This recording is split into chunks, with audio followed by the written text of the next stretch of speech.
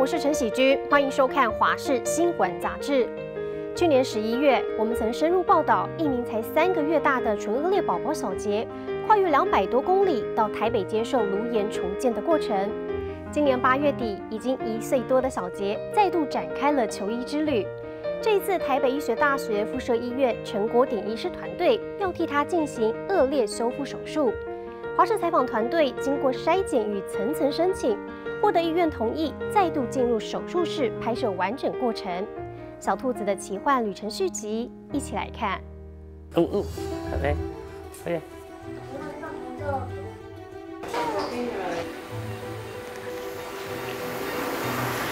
长大很多，现在蛮皮的。嗯，至少说他开上二语言以后慢慢变好啦，也不会说老人家叫他都想会像他爸爸那样。看一个有缺陷，你亲手把它做好，最大最大的欣慰就是看这些小朋友长大。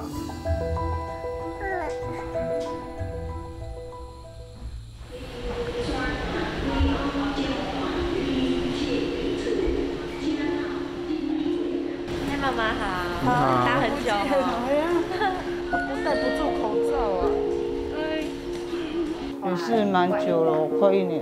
上次开完刀回去，哥哥他们有说你有啊，有啊，有时候变帅了啊，然后他慢慢长大，因为他的那个疤就没有像之前那么深了，所以很多邻居会说，哎，他也变好看很多了。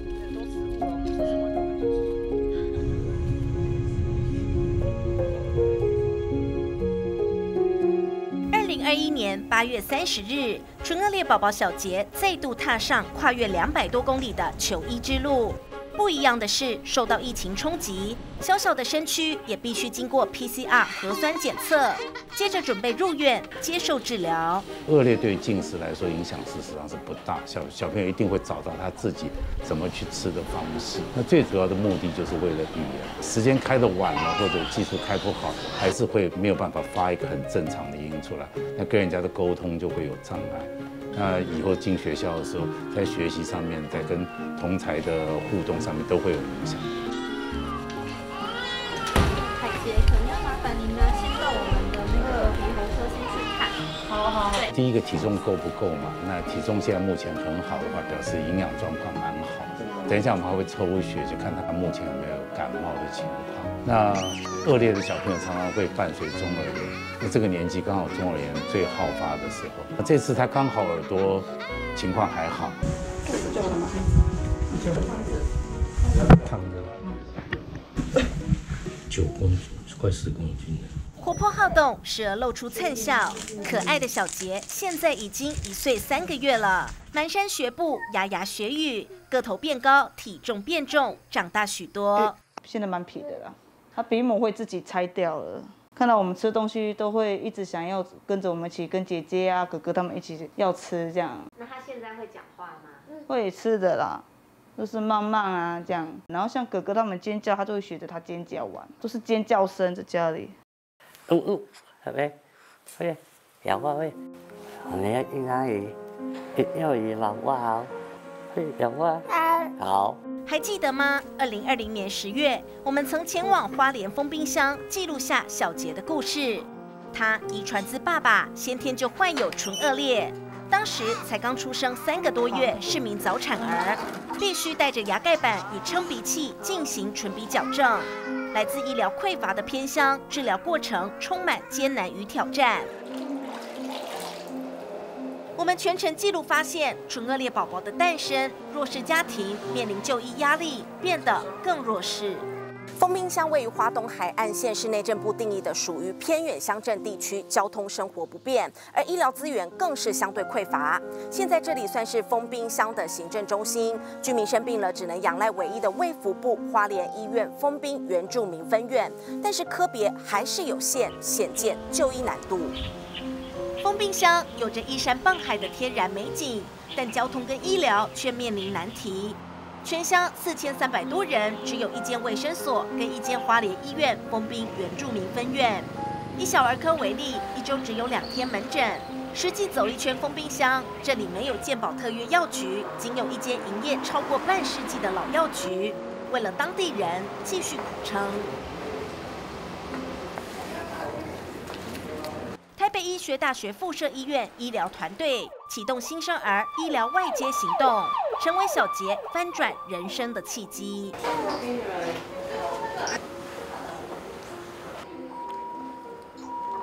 这是坚定。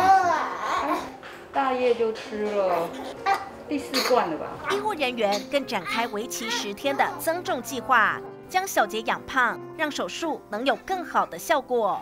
历经唇鼻修复，成功重建外表，以及十个月来爸爸妈妈的呵护照顾，小杰的卢颜变得更加帅气自然。现在治疗期程将迈入第二阶段。哇，已经牙齿都长那么多了。对啊，整个疫情整个都拖下来，我看还不错哎，疤痕都稳定了，然后鼻型这样子也还不错。那这次就等着看二二做完，大概大致上面就算稳定了啦。下一刀牙槽那刀到小学三年级了，很久很久以后。哎呦，现在都已经这么凶了，都开始走路了。北医卢研中心主任陈国鼎医师团队这次要替小杰进行的是恶劣修复。恶劣主要会影响孩子的口语表达和发展。像小杰这样的双侧性唇腭裂案例，在唇鼻修复后还得进行腭裂手术，接着九岁时必须牙槽重建。不过恶劣最佳修补时机是在九个月到一岁间，因为疫情影响与三级警戒，医院降载。小杰的手术期也一路从六月延到九月，这一次九月多是比较晚的有点晚了，已经比较晚了，已经开始讲话了。我们希望开始讲话之前就把那个口腔的结构做好，呃，只能靠那个了，靠技术来补了啦。那我们现在在做的技术，事实上一次成功的机会会比较大，呃，比以前传统的大，所以应该也不会不不会说耽误太多。哎，你很皮呢，啊，好像很跌倒，还一直笑。这次要上来，哥哥姐姐他们有说什么吗？有啊，他说好加油。老三还以为说像第一次那样有要坐救护车，我说没有，这样等弟弟回来这样，我说好。长途跋涉来到台北，小杰母子俩住进出租套房，每趟求医过程对小杰与家人来说都是煎熬。嗯，干嘛？还没有我就不会。要赶我们走，比较进手术房，还是会紧张吗？会哦，它上面很空啊。如果用好的话，它就可以喝一般的那个奶瓶了，就不用用那个特殊的了啦。然后也不会说一直从鼻孔这样跑出来。什么名字？我看像手圈。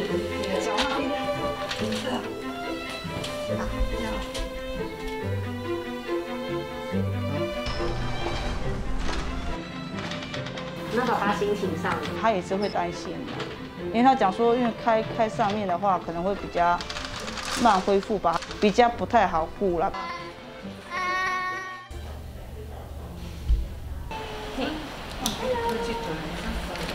三中热产，中热产，哎，要蛮好。好哦。一一抱，你看这什么亮亮的耶，亮亮的。啊。好，好棒，好，慢慢带，慢慢带。手下喽。不用不用，帮你会洗手，OK。唇腭裂宝宝小杰距离去年十一月进行第一次的唇鼻修复手术，至今已经十个月了。那今天他要进行的是第二项的手术——腭裂修复手术。我们经过 PCR 筛检阴性，申请进入手术室拍摄。修。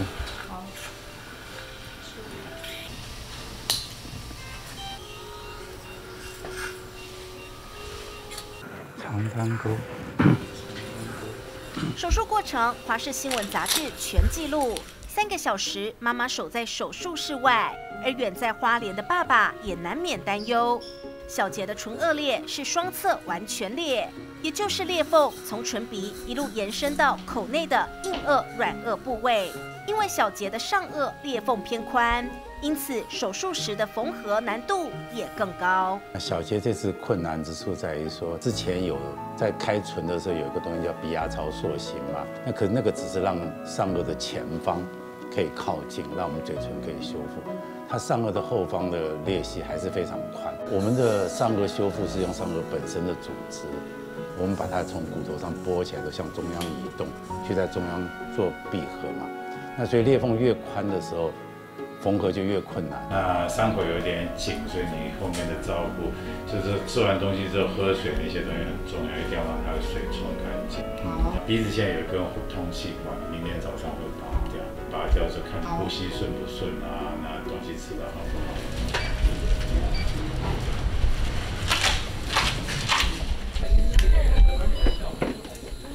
哦，不要哭，不要哭，不要哭，不要哭。哦，没你过在动动。好 好。阿姨知道你不舒服哦，妈妈抱抱哈。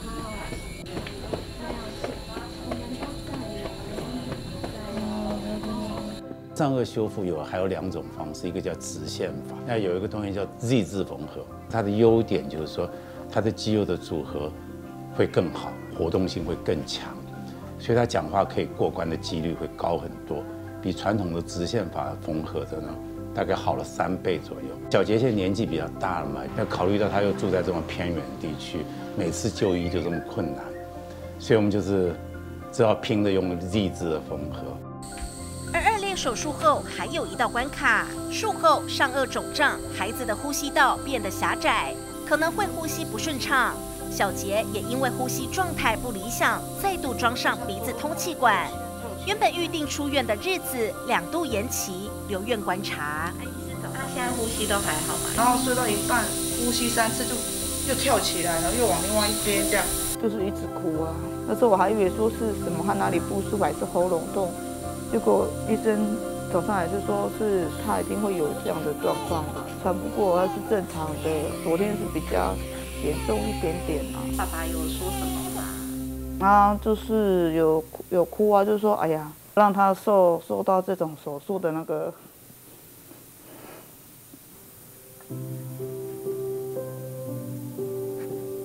那种痛苦了。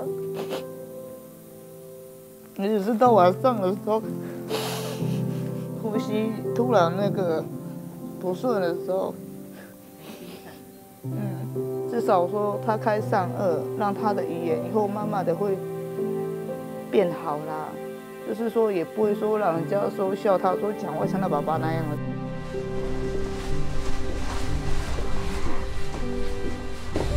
现在还在喂奶，大概又肚子饿了。是一个饮食，就是营养够，它肉就会长得好，伤口就会长得好。那第二个就等它那个上颚消肿，呼吸顺，就这两个事情而已。北上九天，小兔子的奇幻旅程将再次落幕。小杰终于可以出院回家。我觉得做这行最大最大的欣慰就是看这些小朋友在长大。那到我现在年纪，其实这些小朋友都等于我的孙儿了嘛。你等于是自己看一个有缺陷的，你亲手把它做好。然后当然爸爸妈妈还是很尽力去照顾。当他们每次他们在群组上贴照片，其实我看我都蛮开心。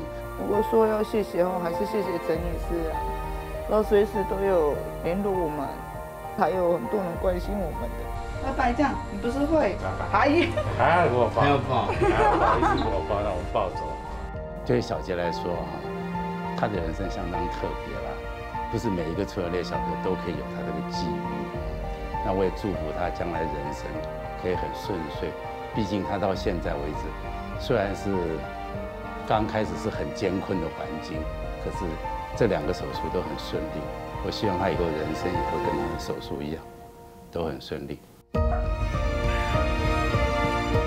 小小的年纪，特别的际遇，我们透过镜头一次次记录下小杰的成长，也分享了这个家庭的故事。小杰相较其他孩子，看似较为辛苦，却也多了幸运突破逆境。期盼他未来的人生充满阳光与温暖，健康长大，平顺安好。深入偏乡抢救唇腭裂宝宝，在此我们要向医护人员致上敬意，也祝福小兔子未来健康安好。下个单元采访团队要前进桃园女子监狱，来关注另一群生活在铁窗内的小小孩。马上回到华视新闻杂志。